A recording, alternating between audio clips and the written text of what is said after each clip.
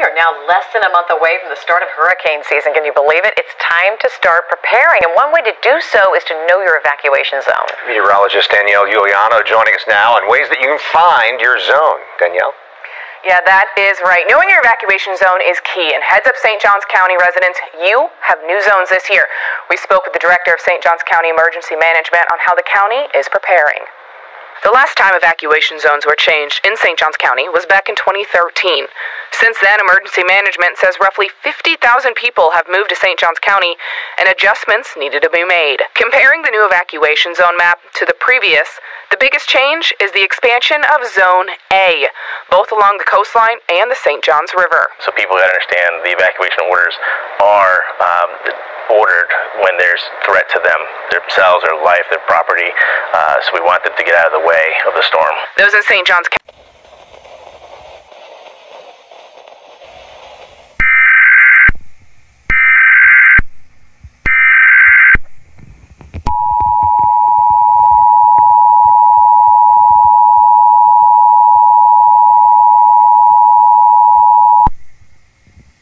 Interrupt your regularly scheduled programming to activate the emergency alert system.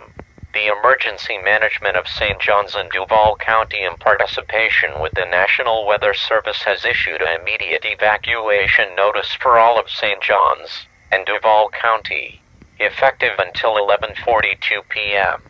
All residents within a 10-mile radius of St. John's and or Duval County have been ordered to leave their homes within the next hour due to severe flooding damage. It has been considered unsafe to stay in the area as water level rises. All residents of the northeastern coast are advised to stand by to a local cable station or radio for further updates regarding your area.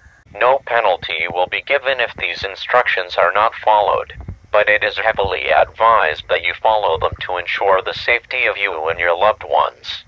Shelters will be set up along the border of neighboring towns, with food and water to supply until damage to the area has been assessed.